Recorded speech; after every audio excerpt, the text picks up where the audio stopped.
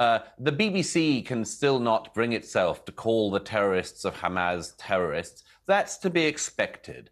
Novara Media, a radical far left extremist publication in the UK, has had it, members of its staff tweeting support of the massacre of Israeli men, women, and children. That's what we expected. Hey guys, welcome back to my channel. Guys, we're checking out You Disgust Moron. Douglas Murray attacked BBC journalists. Guys, let's get straight into this.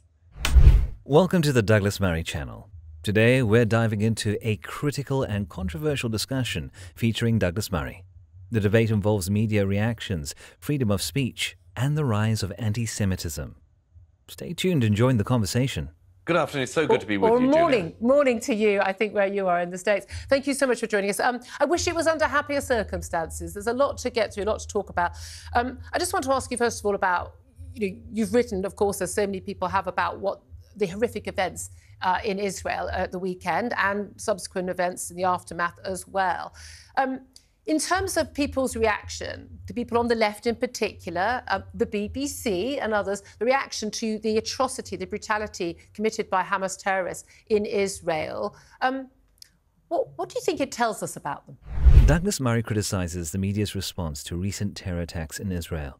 He highlights a perceived bias in reactions, especially from left wing outlets. Why do you think certain media outlets avoid labeling these acts as terrorism?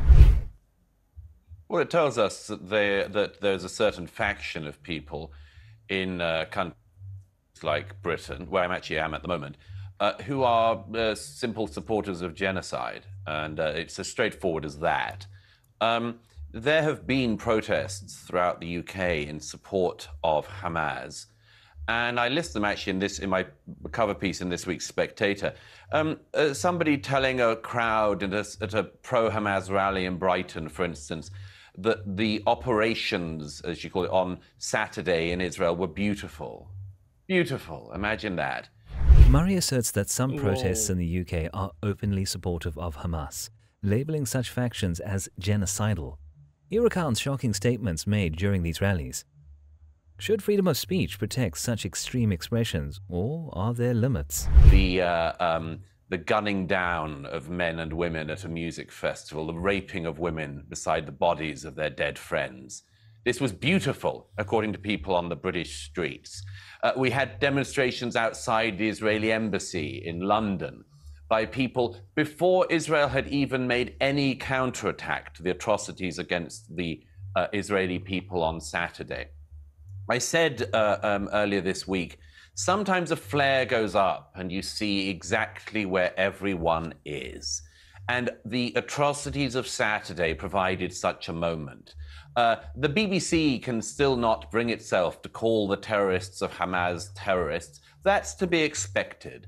Novara Media, a radical far left extremist publication in the UK, has had it, members of its staff tweeting support of the massacre of Israeli men, women, and children. That's what we expected. Had Jeremy Corbyn become Prime Minister of the United Kingdom, the Novara Media would have been his press unit. These uh, anti Semites, racists, genocidists are all now in plain view. They celebrate the massacre of Jews. We knew they were there, they've confirmed it. He describes disturbing reactions on British streets, where some praised horrific acts of violence. Murray contrasts this with hypothetical support for anti Muslim violence, which he believes would be swiftly condemned.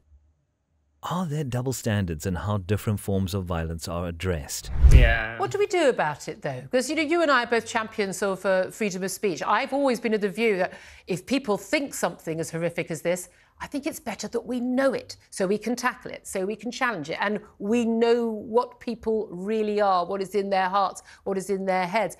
But how do we tackle this? Because it seems to me that this is something relatively new on the left. I, I, this isn't how. This isn't what I associated with the left before. These are the sort of views we associated with the right uh, until Oh, only a few you- years ago.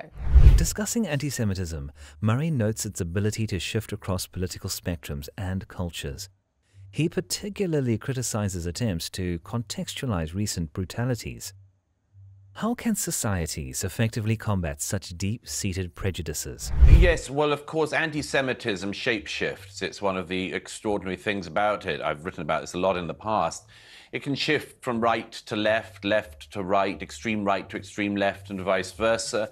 Um, it can be religious, it can be ethnic hatred, it can be all sorts of things. It can be hatred of the Jews for not having a state and being stateless. It can be hatred of the Jews for having a state and having statehood. Um, uh, so, so yes, th- this is just, I mean, the virulent form of anti-Semitism we see in our time in the West is, is almost always really from the radical left, uh, um, and, uh, and and increasingly on the the left, and, and of course um, among the Muslim community, very sadly.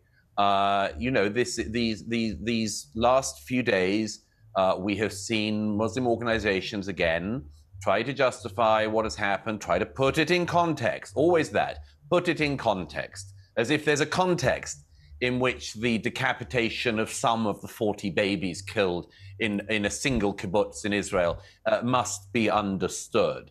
Um, you, you, know, the, the, the, these people who, who, who say these things, who try to add this context. Uh, uh, many of them are simply outing themselves at the moment as supporters of Hamas. And it isn't actually a freedom of speech issue. You know, for a, few years ago, um, a, uh, a, a, maniac lone wolf gunman in New Zealand, a disgusting man, um, uh, went into a mosque and massacred uh, some Muslims praying. A, lo- a lot of people, a lot of innocent people. And if in the aftermath of that there had been protests outside New Zealand embassies around the world supporting that gunman, all the Met Police and others would have stepped in within a second. They would have yeah. been prosecuted in no time. And you know what? That would have been correct. Because it is actually a crime in the UK, as it is in other countries, to support and glorify terror. Glorification yeah. of terror is a crime under the 2006 Terrorism Act in the UK. You're not allowed to support Al Qaeda and be free. You're not allowed to support ISIS and be free.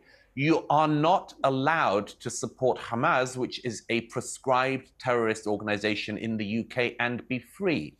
So, as I say in a spectator this week, I want the people who are supporting Hamas openly, including people who are leaders of Hamas, who we know are leaders of Hamas in the UK, to be arrested, to be prosecuted, to be imprisoned, to, I think, like ISIS, have their passports withdrawn, be made stateless. If they wish to live in the Gaza, they should do. They can take their chances there. Britain doesn't want or need them.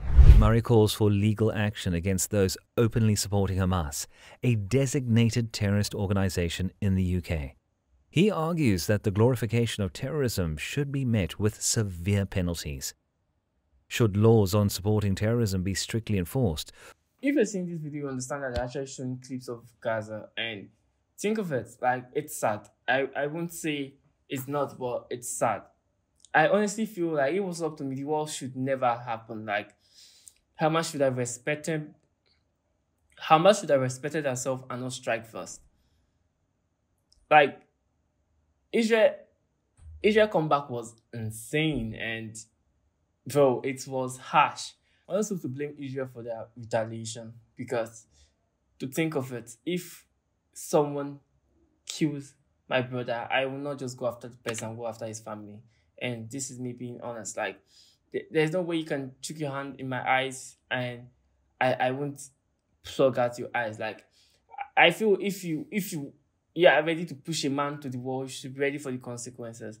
And i will say most muslims support hamas and this is me being honest. I have i have muslim friends and i talk to them and they, they have this excuse that Hamas is fighting the war and the war did not just start October 7th. And if I want to be honest, okay, let's say the war was low key and there was nobody throwing rocket at each other. Like Hamas increased the scale of the war, and this is what people should be honest about, and people should actually tackle Hamas and not just tackle Israel. I don't know who is funding this new station to make them paint Israel as the bad guy and make people forget about what Hamas did. I really don't know. Like the way they are posting clips of Gaza people in Gaza saying things like, see, I, I don't get me wrong. I understand what I understand what people in Gaza are going through. Like it's heartbreaking. I really don't want to be in their shoes. I really don't want to be in the shoes. But like I'll be honest, for us to tackle this, we need to focus on Hamas. Like these are the guys who started. I really don't see reasons why a logical thinking person will support Hamas. Like them putting Gaza in this war and running away from Gaza is just heartbreaking. Like leaving the people to suffer. I always believe that Gaza should be giving aid. If they're giving aid to Gaza, they're indirectly kind of funding Hamas.